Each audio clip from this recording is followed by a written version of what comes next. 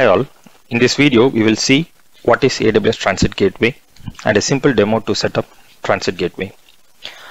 A Transit Gateway is a central hub connecting different AWS account VPCs, AWS VPN and Direct Connect gateways.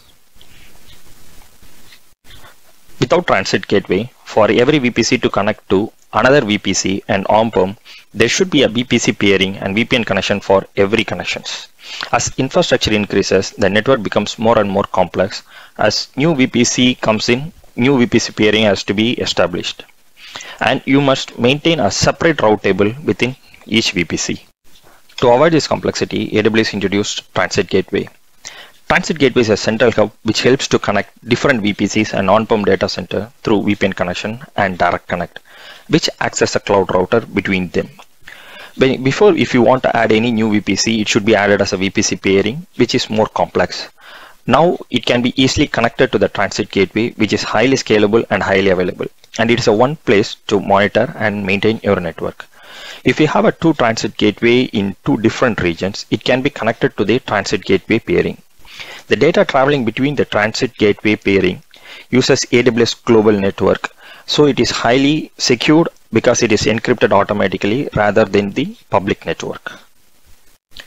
To set up Transit Gateway, each VPC, VPN or Direct Connect must be attached to a Transit Gateway as an attachment. Every attachment must be associated to a single Transit Gateway route table, which supports static and dynamic routes. Attachments can be configured to propagate the known VPC CIDR ranges automatically. VPN Customer Gateway and Direct Connect Gateway will be advertised as by the customer BGP. The routes from the VPC to the transit gateway must be manually added to the respective VPC route table. Now we'll show how to set up a transit gateway. For this demo, I have created a three VPCs with their respective subnets and EC2 in that. First, we will create a transit gateway and we will attach the three VPCs to the transit gateway and we'll check the transit gateway route table which will automatically propagate the VPC attachments and we will modify their respective VPC route tables to add the routes needed and then we will test the connections between all the VPCs through the transit gateway. Okay, let's start with the demo.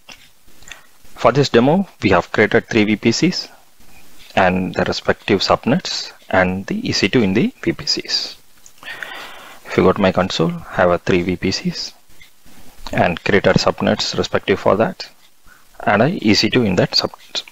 Let's test out the connections between the three VPC EC2s.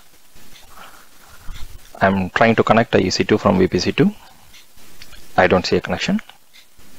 And I'm trying from VPC3 EC2. I don't see any connections. This EC2 is from VPC1. The next step is to create a transit gateway to establish a connection between the three VPCs. So I'm trying to create a new transit gateway. Let's name as transit gateway, my transit gateway and description and I'm selecting the default options. I'm selecting ECMP, DNS support. ECMP is for multipathing and uh, default route table association and default propagation which is already enabled. And I'm going to select the auto accept. If you want you can accept manually as well.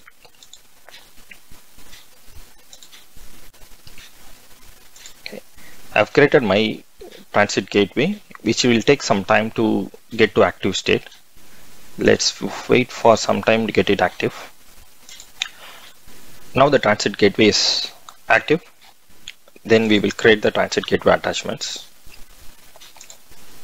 We'll create a new transit gateway attachment. I'm selecting my transit gateway. And if you see like there are few attachment types. We have created vpc attachments. We are going to create a vpc attachments. We can create vpn peering connections and direct connect. Depends on the attachment type. Now we are creating vpc so I'm naming as VPC1 and selecting VPC1 and it will be a public subnet so we same way we have to create for all the VPCs.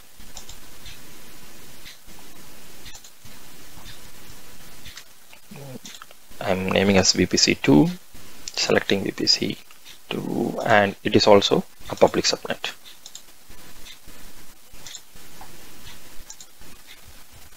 Now we'll create for the VPC3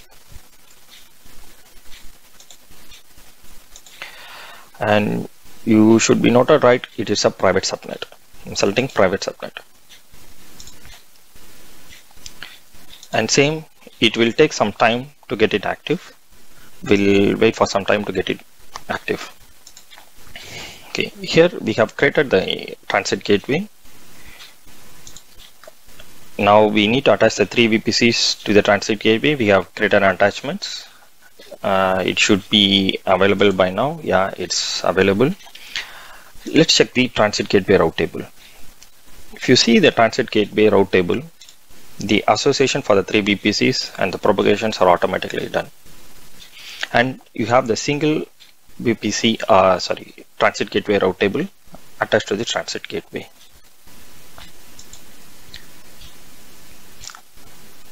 now we have created the connections and we have created the attachments.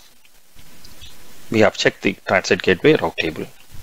The next step will be we have to modify the respective VPC route tables to add the routes which are needed to make the establish the connection between the VPCs so let's go to the VPC section. And you see I'm selecting VPC 1 sorry. We'll go to these respective route tables. We should add the respective routes for the transit gateway. Say we select the public subnet for the VPC1 we need to edit the routes here.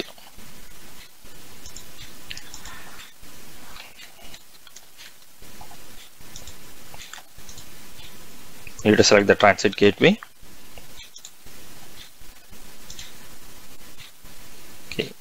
Same way you need to attach for the VPC3 as well.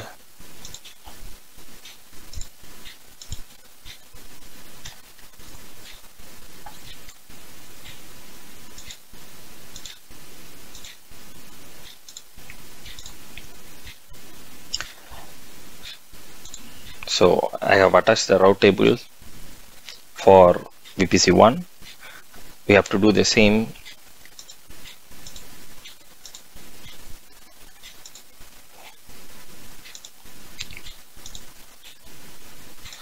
I'm adding the routes for the VPC2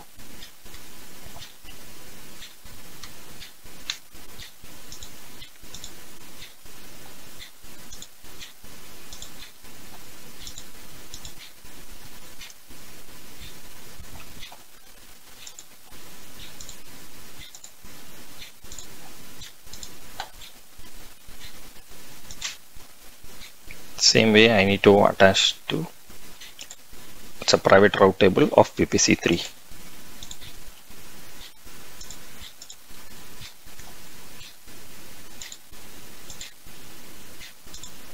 Attached to the transit gateway.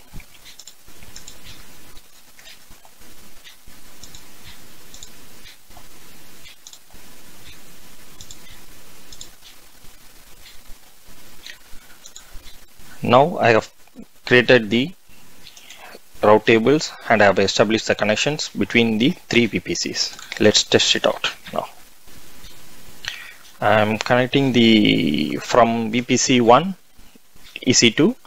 I'm connecting to VPC 2 EC2. See, now the connection is established. Let's check for VPC 3 EC2. Same.